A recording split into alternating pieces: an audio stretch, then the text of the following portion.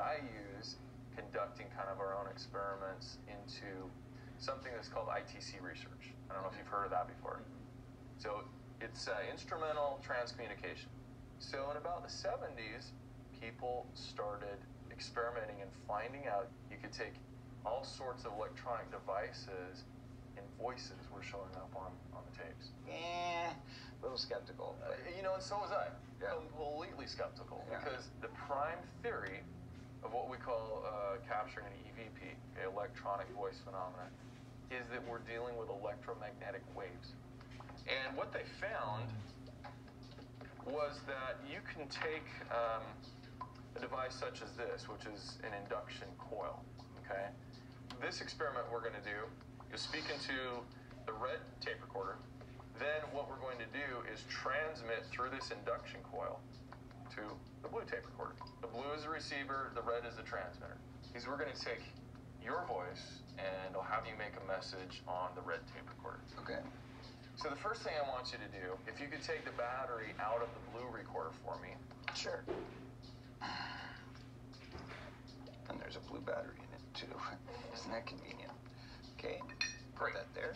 So for quality control, we'll take the blue recorder and we'll just set it over here out of the way.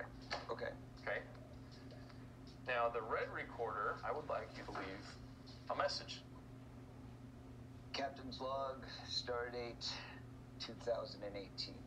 This is Captain Corey of the USS Red Recorder leaving a message that may be detected in other universes or dimensions.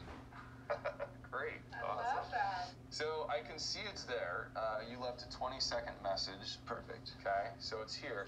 But just to make sure, what we're going to do is we're going to take uh, what we call an EMF meter, electromagnetic field meter. And as we play this back, you see the needle fluctuating. Hmm.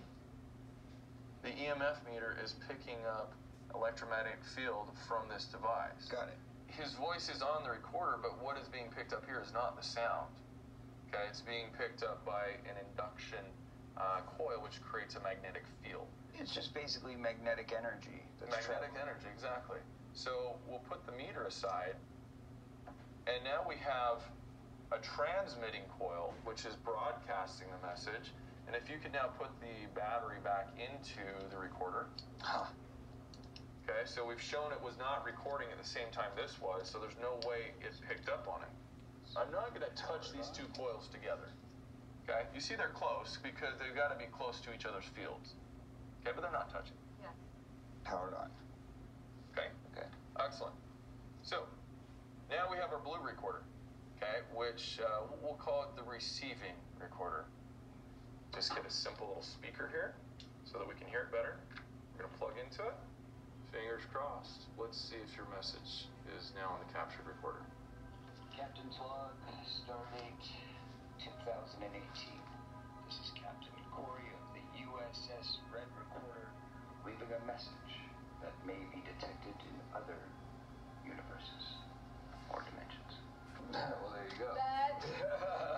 see how clear it was? very clear. Very clear. That was not done by radio waves. It was not done acoustically.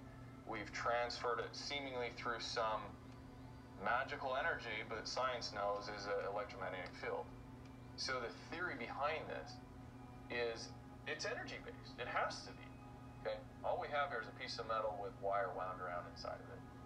What do you think the biggest induction coil, uh, let's think grand scale, what do we have would be the biggest induction coil that surrounds us all? The earth. the earth. If it's that or if it's some other energy we don't quite understand, we're all connected to it. You just demonstrated how sound waves can be transferred from one point to another without physical contact.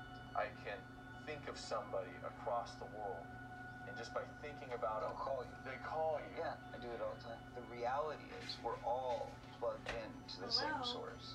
I completely agree. We can take this whole concept of imprinting your residual onto a physical object, okay, visually, uh, in a special camera that, that I have. So if I can